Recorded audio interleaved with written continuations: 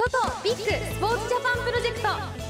スポーツ振興くじトトやビッグの収益は日本のスポーツを育てるために使われています。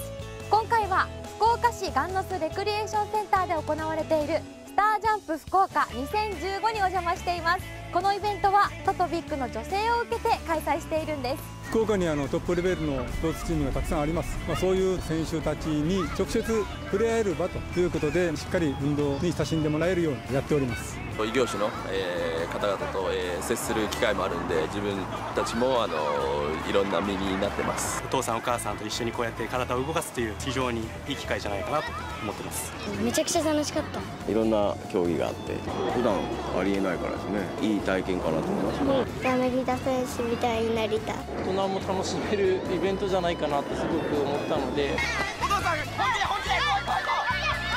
信じようスポーツの力を